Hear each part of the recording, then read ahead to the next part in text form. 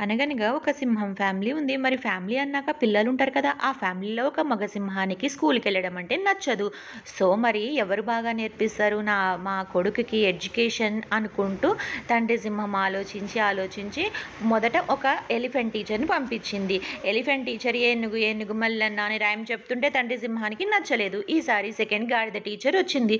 గాడిద ఎంతో బరువైంది. అందరూ గాడిద అని తిట్టినా, అంటూ ఉంటే ఈ లోపల సింహానికి మళ్ళీ కోపం వచ్చి మళ్ళీ పంపించేసింది. ఈసారి మూడోసారి క్యాట్ టీచర్‌ని పిలిపించింది. క్యాట్ వచ్చి మియో మియో అనంగానే నువ్వు కూడా వెళ్ళిపో అని సింహం పంపించేసింది. నా కొడుక్కి సరైన ఎడ్యుకేషన్ ఎలా అని ఆలోచిస్తుంటే ఒక హంటర్ వచ్చి షూట్ చేస్తూ ఉన్నాడు. ఆ అప్పుడు ఆ జంతువులన్నీ అడవిలో అటు ఇటు పరిగెడుతుంటే ఆ కొడుకు సింహానికి అది నచ్చక అడవి అంతా మారుమోగిపోయేట్టు గట్టిగా గర్జించాడు. సో, ఈ లోపల ఇవన్నిటిని చూసి హంటర్ పారిపోయాడు. తండ్రి సింహం హ్యాపీ ఫీల్ అయిపోయాడు.